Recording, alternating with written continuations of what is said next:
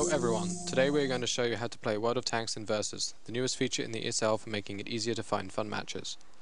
The first step is easy. From anywhere on the ESL website, click the Play Versus button on the top of the page. Versus will load, presenting you with a list of games to choose from. Versus supports many games, from hardcore shooters like Counter-Strike to fun games like HaxBall, and of course World of Tanks. If you're in the World of Tanks part of the website, when you click the button, then World of Tanks will already be selected. If not, then you can find it in the games list. Before playing, you should take a quick look at the rules. Underneath, you can see a list of regions, and it will show you how many players are online now playing uh, Versus in World of Tanks. Underneath that, you have the choice to enter that you have a game server to share for your match.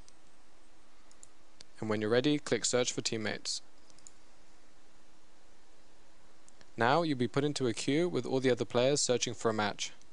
Versus will try to make the fairest match based on the skill level of all players that are currently searching. Once a match is found for you, Versus will ask you if you're ready. Just click I'm ready and then you'll be put into your match. But first, before you can play, you need to choose which map that you will prefer out of the two choices.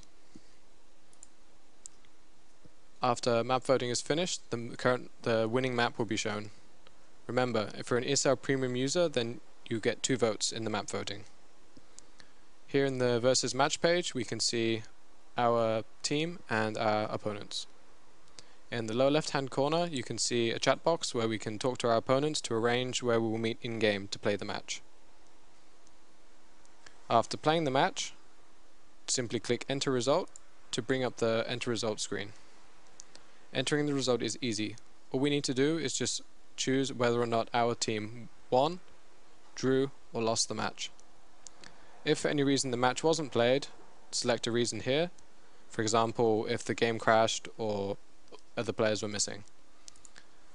Finally, if for if any players were missing or went AFK during the match, mark them here so that Versus can take them out of the system for future matches.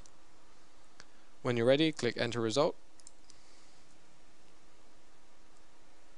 Once enough players have entered the result, then the match will be closed and calculated instantly.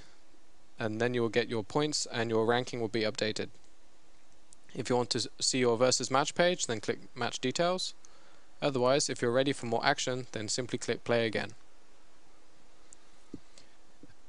Afterwards, if you ever want to check out the, your versus rank or your versus results, go to your player account or a player account of your friend to see their results. For example, here we're going to check out one of our admins. Uh, here you can see that, for example, Kani, the ESL TV presenter, is currently ranked third in Versus. That's all there is to playing Versus. We hope that you find Versus easy to use and you will enjoy playing World of Tanks and Versus on the ESL. Go to playversus.me now to begin.